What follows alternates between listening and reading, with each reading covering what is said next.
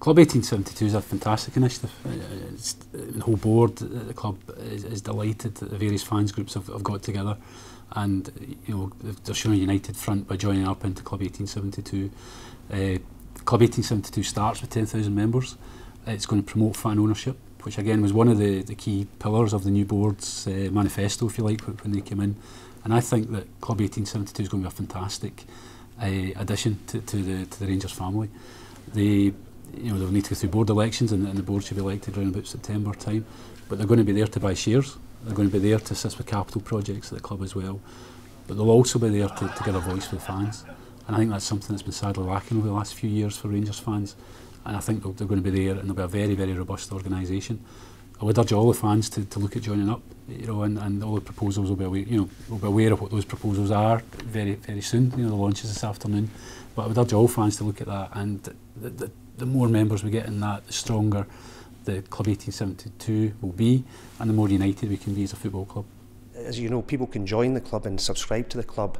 Uh, half of the money will go to share purchase and half of the money will go towards special projects that will come up through through fans' involvement. Uh, eventually, the, a new board will be elected, probably round about the autumn of this year, and then they will take the objectives forward. Uh, I'm very proud to have been part of it. You know, the, the various fans groups that have kind of made this happen. Uh, the fans are all finally getting behind us now, and uh, the good thing is we've now actually got the club behind us. You know, not not financially, but they're actually backing us, which is amazing. Uh, we've got the right board. You know, they're all Rangers fans.